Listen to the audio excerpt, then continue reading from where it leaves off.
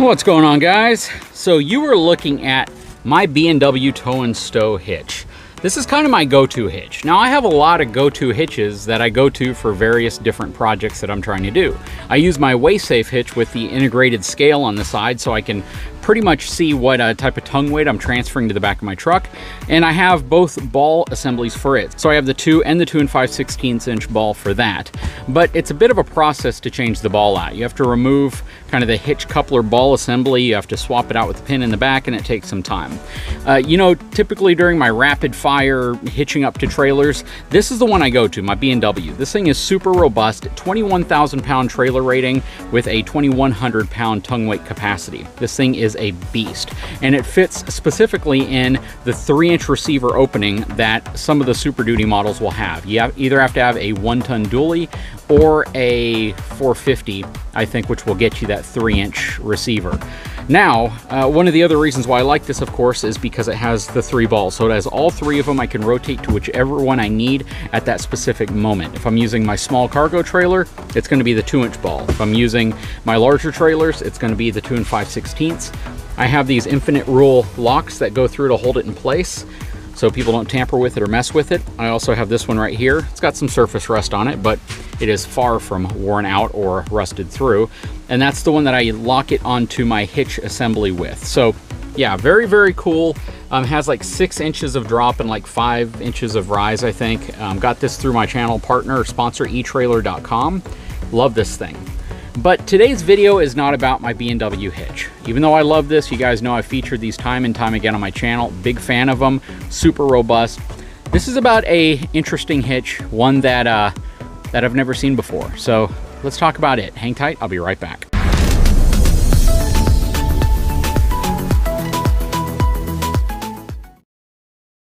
All right, so I've yet to open up this box. Inside, it contains what's called a Rhino hitch. Now, I know nothing about this product at all, and they didn't reach out to me. Uh, my sponsors don't carry this product. I know, again, nothing about this product. But what I do know is that there is an awesome lawn and landscape channel out there called Brian's Lawn Maintenance, who I've collaborated with before, and he is one absolutely awesome dude. You know, he shipped this to me. It arrives in the mail, and I'm like, what the heck am I looking at? And I call him, we talk about it, and he goes, if you want to see one really sweet hitch, you should take a look at the Rhino hitch. They accidentally shipped him the three inch version with the three inch shank, even though his truck has a two and a half inch shank. So he's unable to use this. And he's like, you know what?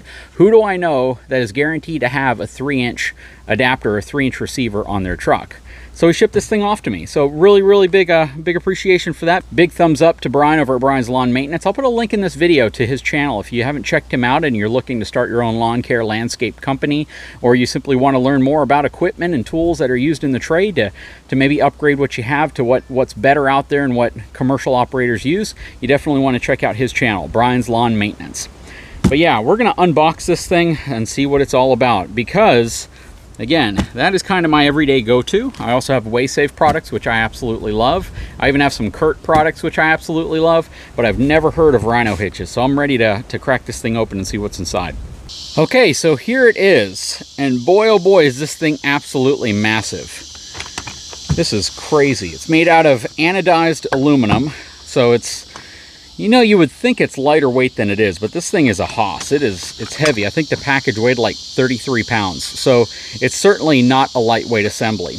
Um, it has a very innovative ball idea here on how you actually change balls. Basically, I think you just pop this piece out right here like this, and it has the 2 and 5 16 inch ball in it currently. So you pull this out. Maybe you push it the other way. No, push it that way. You might have to use a tool to do it. See if I can pop it out with my pocket knife.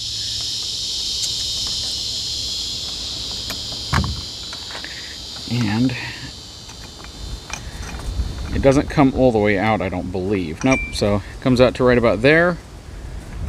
Then you take your ball that comes on this really nifty little carrying assembly.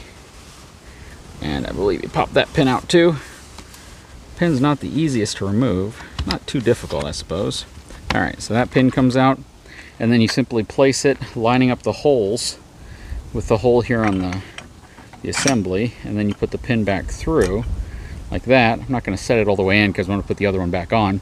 And that's how you swap balls out, which that is actually really, really convenient because it's not the process of having to remove pins or anything. Well, never mind. It is a process of removing a single pin, but the pin's on the ball itself.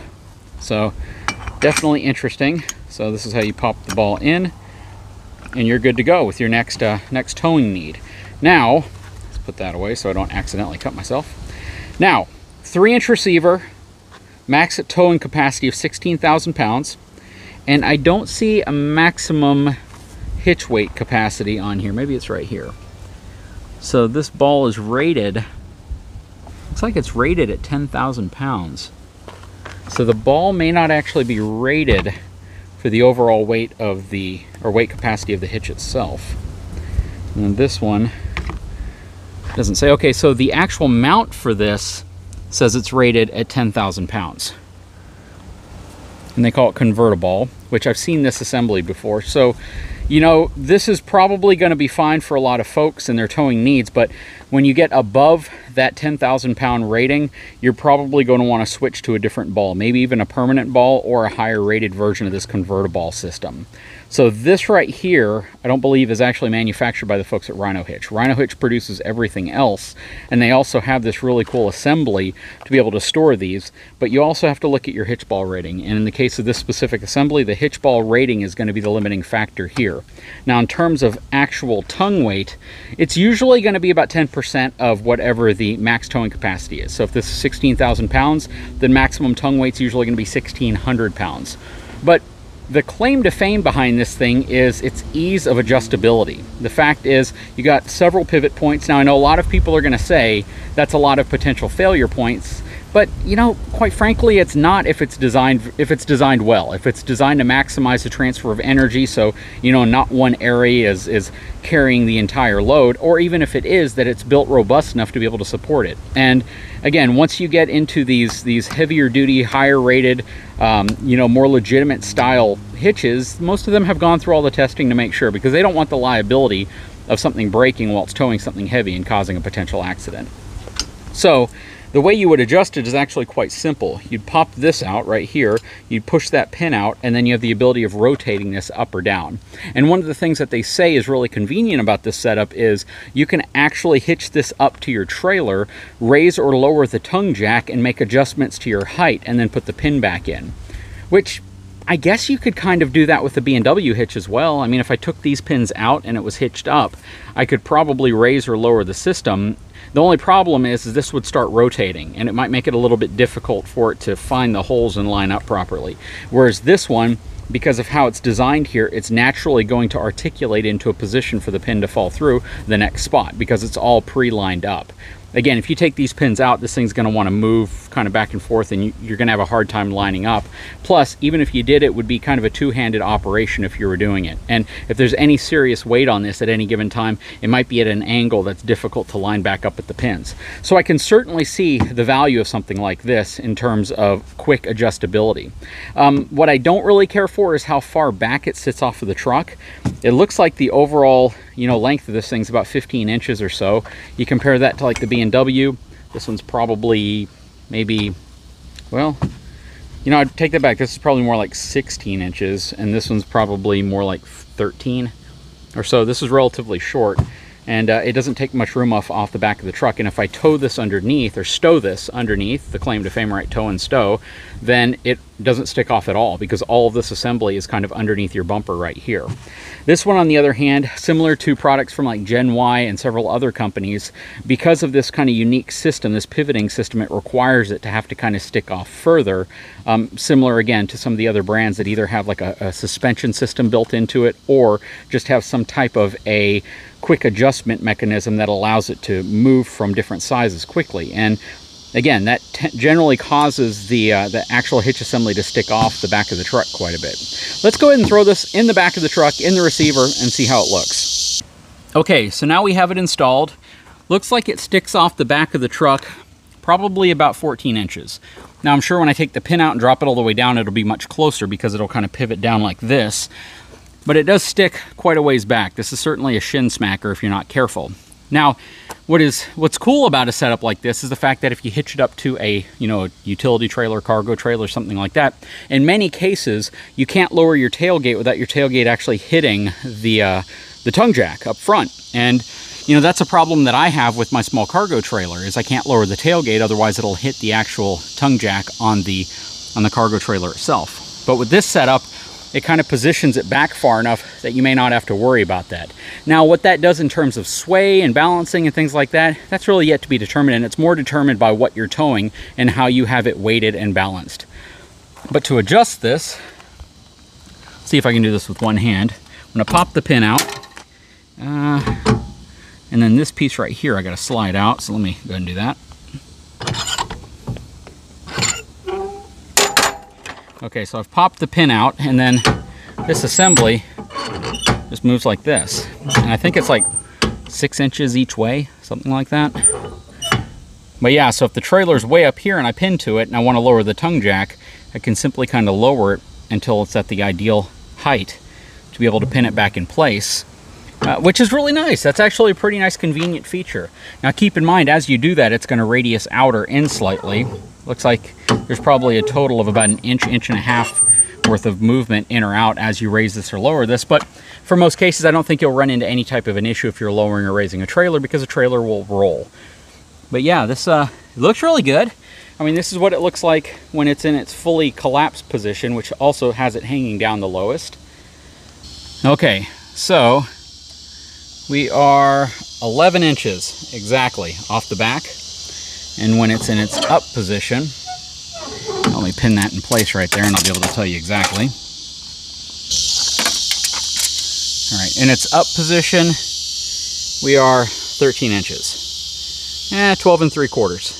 So, yeah, about an inch and a half to 2 inches off the back when it's fully out. And it collapses, you know, not too far out, about 11 inches when it's in which still is quite a bit more than the B&W, but it's not too bad. I mean, quite frankly, again, if you look at some products like Gen Y and such, they can stick out much further depending on how you have it configured. You know what? The ease of usability and adjustment on this actually make up for a lot of that. So that is really, really cool. Now, what would be interesting to know is, you know, how much slop there is this way. And there's not really much. I mean, quite frankly, the only slop you see is right here in the receiver but there's very, very little movement right there, and it feels very secure once everything's in place. Again, it would be nice if they did have a hitch ball that was rated to the maximum capacity of the actual hitch assembly because you know, if you try to hitch up a, a, heavy dump trailer, you have a lot of functionality to be able to do it. Again, the challenge you might run into is that the weight of the dump trailer may actually exceed what this is capable of without actually exceeding what the hitch is actually capable of. So it's always something you want to keep in mind. Very, very cool though. You know, I'm going to put this thing through the ringer over the next couple of months, see how it works for me, swap the ball out, stuff like that. We'll uh, try it with different trailers. I do like this really cool uh, hitch pin assembly where you basically pop this out of the ball and you drop another ball on. Um, it keeps you from having to remove too much stuff, but you do have to stow and you know keep the the other ball available in the event you do need it. So that's kind of the same way with Weigh Safe, right? They include another ball, but you have to carry it around with you under your seat or somewhere like that. Versus B&W, they're all stuck on the same assembly. Um, I can definitely tell there's a lot of pride in terms of the engineering and craftsmanship of this product because it looks very, very well built. Anodized, has a nice finish. I mean, this is certainly going to make somebody really happy if, if they end up with one of these. Um, it's really really, a great looking hitch as well. And it's gonna probably spark some conversation from folks kind of wondering what it's all about. The functionality of it is actually really cool and how they designed the pivot point is actually really cool. From an engineering standpoint, how it transfers energy across the assembly looks pretty sound, looks pretty stout. I don't necessarily think of any one particular area that would bear all the weight enough to where it could fail. And even if it did, everything's built to such a robustness that I don't necessarily think that that would be an issue. Again, keep in mind that your max rating on here is 16,000 pounds, and then of course your hitch ball rating on here is 10,000 pounds. But this looks like a standard hitch adapter here. You could probably just unbolt this thing, throw in a higher rated hitch ball if you need to, so you can tow whatever you need to tow up to that 16,000 pounds. Um, again, I'm presuming that the maximum tongue weight is going to be 1,600 pounds because, again, it's typically 10% of what you have there. And of course, if you meet that maximum tongue weight, you're going to want to be sure that the trailer weight at that point is properly adjusted, right? So if you have you know 1600 pounds on the ball here but your trailer weighs you know a lot more because of how it's loaded up or balanced and you want to make sure that you don't exceed either of these numbers or any one of these numbers because that can always be detrimental as well. Very very cool. Huge shout out to my friend brian over at brian's lawn maintenance for sending this my way. Um, i don't get to see a lot of really innovative changes in the whole trailer hitch arena. There are some cool ones with shock absorbing technology and all that stuff built into them. There are some really basic looking ones that can tow huge, huge weights. Like Bulletproof has like one that's rated at 36,000 pounds. Even though it doesn't look like much of a unique design, it certainly is unique in the sense that it can tow like three times what anything that looks like it or anything that's similar to it can actually tow. So that's really cool. But this is certainly a very unique design. It's a beast. If you want to have a, uh, a pretty looking hitch on the back of your truck and you got one of those big old jacked up trucks and you want something that looks really cool with a lot of adjustability, this might be what you're looking for. Anyways, guys, um, I'm to put a link to my, my friend over at Brian's Lawn Maintenance in the video description here. He'll probably have links to this on his channel. If, if they sell it on Amazon, I'll throw a link up there as well. But yeah, this is a pretty cool product. Guys, if you haven't had a chance, please leave a comment below. I'd love to know what your thoughts are on this hitch. Please give me a thumbs up, subscribe to my channel, and we'll talk to you again very soon.